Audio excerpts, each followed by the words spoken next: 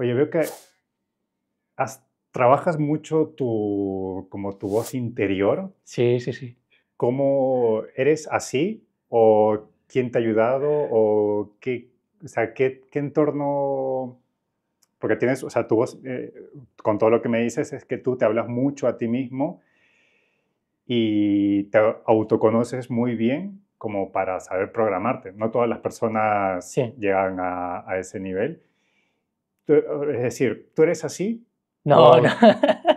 ¿O Sí. cómo has ido trabajando eso? O sea, ¿qué, qué factores en tu vida han hecho que tu seguridad, tu voz interior, tu autoconocimiento han- hayan ido mejorando? Me, me escucho mucho y verbalizo mucho lo que quiero.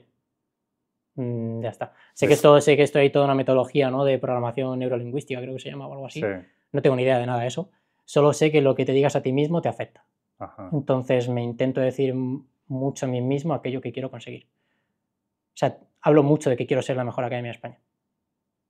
¿Por qué? Porque sé que no lo soy, pero sé que quiero ir hacia allá. Entonces lo digo. Y lo digo mucho. Yo quería ser el número uno de, de- de la oposición de bomberos. No tenía nivel para ser el número uno, pero lo decía. Para acercarme todo lo que pueda. Entonces, yo nada, yo antes de la oposición no era así ni de coña, yo era una persona completamente normal. ¿Qué hacías antes? Estudié en EF, Ah, vale. Ciencias de la Actividad Física y el Deporte, y saqué un seis y medio en la universidad. Ajá. Muy normal, muy mediocre, muy tal. No, Vale. no tenía pasión por nada, simplemente. O sea, a mí el cambio de chip vino un poco con la oposición, y el cambio de chip fuerte vino con el primer aprobado, que fue cuando, vale, aquí hay algo. O sea, sa- sabes hacer algo grande, Sí. ¿no? Eh, o tienes capacidad para hacer algo grande, y, y empecé a ganar mucha más seguridad en mí mismo. Vigilo cómo me hablo. ¿Cómo hablarte? O sea, y me escucho mucho. Y cuando me digo a mí mismo, o sea, ya no me pasa, tío, eres muy malo, eres un paquete, tal, ni de coña me digo eso.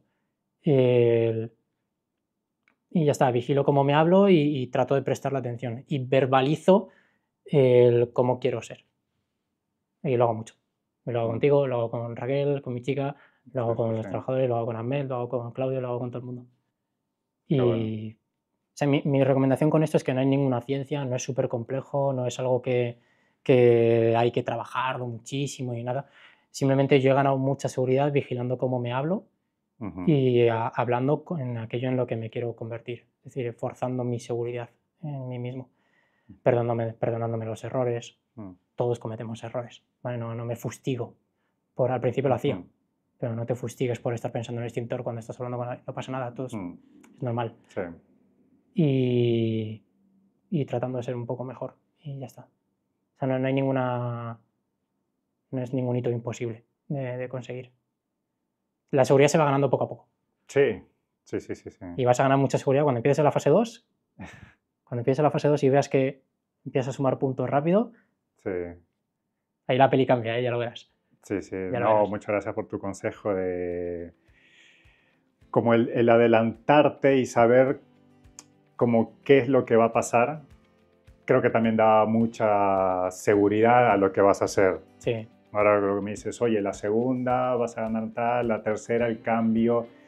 Y eso es como, como que te trazan el camino, ¿no? Como veo el Google Maps y digo, vale, va por aquí, va por ahí. No estoy, no estoy perdido, al menos. sí, sí, sí.